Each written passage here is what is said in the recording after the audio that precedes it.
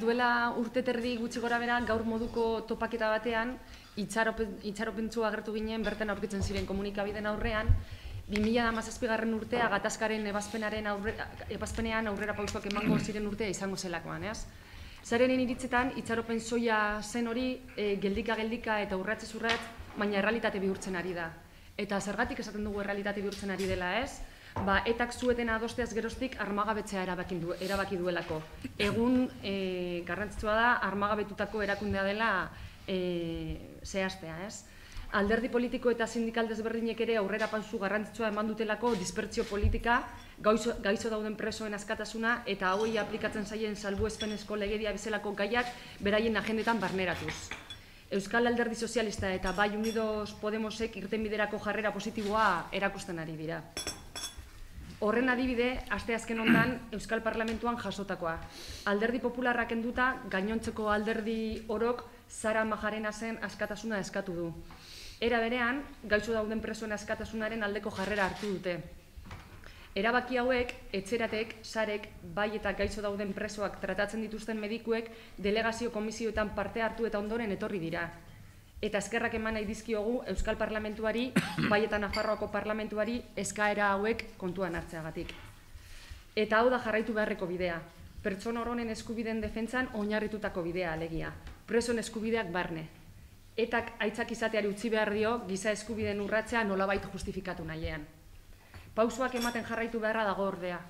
Zentzu hontan, garrantzitsua da Euskal Autonomia Erkidegoan bai eta Nafarroan gauzatu diren gehiengo politikoak, Espainiar parlamentura edatzea. Hau medio deialdi bikoitza egiten dugu. Euskal instituzioei alde batetik, giza eskubideen aldeko iniziatibak bideratu ditzaten. Eta bestetik, Espainiar parlamentuari berari, legedia propioaren bete arazpena galdatzeko. Era berean, Euskal Presoen kolektiboaren baitan ematen ari diren eztabaidarekiko begirune guztia eskatzen dugu. Interferentzia eta manipulazio gabe.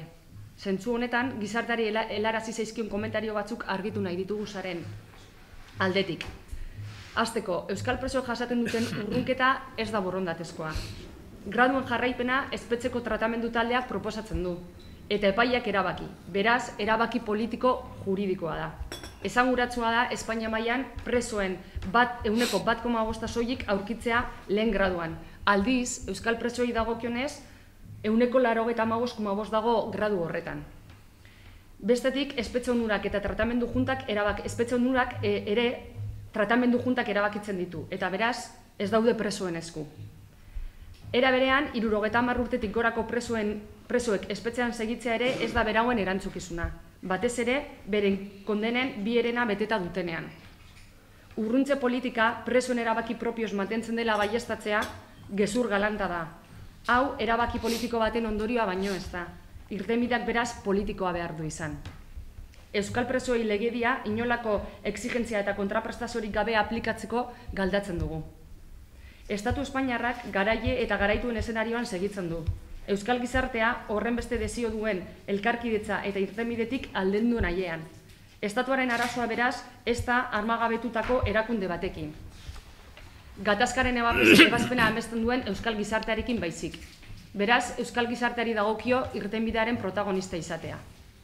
Eta 0 kilometro kanpainak hori du helburu. Elkarkidetzan oinarritutako gizartea eratzea.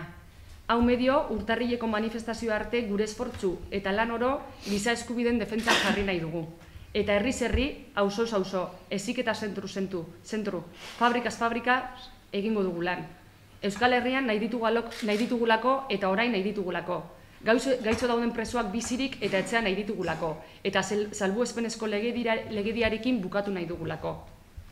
Politika honek presoak ezezik hauen familiak ere zigortzen dituelako. Zentzu hontan, presoen semea alaben alde ere egingo dugu, eta jasaten dituzten eskubideen urrapenen aurka.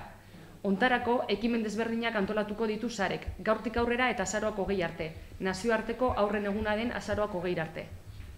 Era berean, foro sozialarekin koordinatuta alderdi politiko bai gizarte eragile desberdinekin hizketan jarraituko dugu. Euskal gizarte eta instituzioak eskutik joan daitezen. Era berean, juristekin ere elkarlanean jarraituko dugu, preso eta hauen familien eskubideen urrapenari dagokionez. Hauek dira, hemendik eta urtarrilerako manifestazio arte burutuko ditugun ekimenetatik batzuk.